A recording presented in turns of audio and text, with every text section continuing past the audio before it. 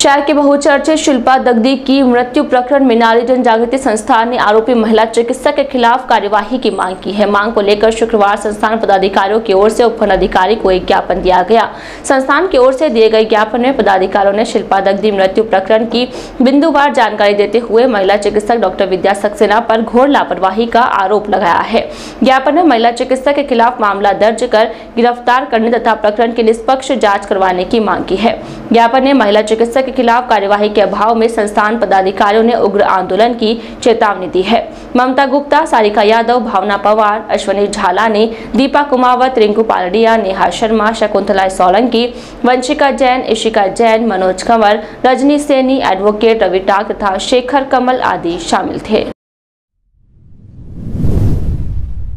परसों शिल्पा दग्दी की डिलीवरी थी।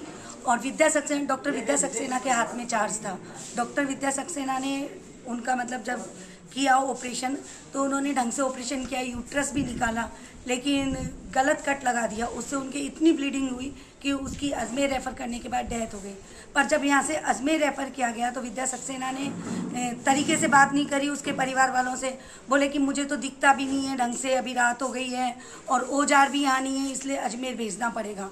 और उन्हीं की लापरवाही की वजह से शिल्पा दग्दी की डेथ हो गई। तो हम नारी जन जागृति संस्थान के सदस्य ये चाहते हैं कि आगे भी विद्या सक्सेना की लापरवाही की वजह से एक के चौदह साल बाद बेटा, बेटी हुई थी, लेकिन उसकी भी डेथ हो गई, तब भी हमने आवाज़ उठाई थी। और आज भी हम यही चाहते हैं कि विद्या सक्सेना के खिलाफ कार्रवाई हो, कलेक्टर साहब और चिकित्सा मंत्री साहब, मुख्यमंत्री साहब, ये सब विद्या सक्सेना के खिलाफ और पीएमओ साहब के खिलाफ कार्रवाई करें और अमृत कौर हॉस्पिटल से इनको साफ़ करें। वैसे तो कायदे से विद्या सक्सेना के ऊपर मर्डर का इल्ज़ाम है लेकिन फिर भी जो गवर्नमेंट चाहेगी वो होगा। पर अब ब्यावर की जनता इनको नहीं सहेगी। इसलिए नारी जन जागृति संस्थान की तरफ़ से हमारी यही अपील है कि विद्या सक्सेना को जल्दी से जल्दी अमृत कौर अस्पताल से हटाया जाए।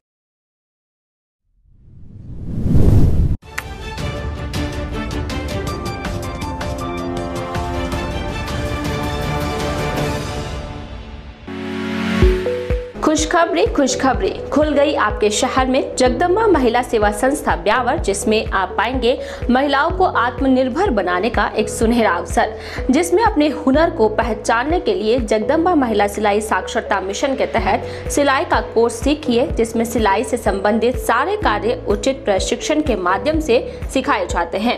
इसी के अंतर्गत महिलाओं के लिए ब्यूटी पार्लर का कोर्स सीखे, जिसमें मेकअप करना, दुल्हन का मेकअप, फेशियल करना, इसी के साथ में मेहंदी के कोर्स के लिए भी मेहंदी कैसे लगाए? वे मेहंदी लगाने व सिखाने के लिए अनुभवी प्रशिक्षण के द्वारा तीन महीने का कोर्स सिखाया जाता है। तो आज ही इन कोर्स को सीखने के लिए अपना स्थान सुनिश्चित करवाए। तो पता नोट करें जगदम्बा महिला सेवा संस्था एच एल पैलेस गार्डन के अंदर, Chanchta road, Beawar. Mobile number seven eight nine one double seven four six nine one nine three five one two triple one six zero.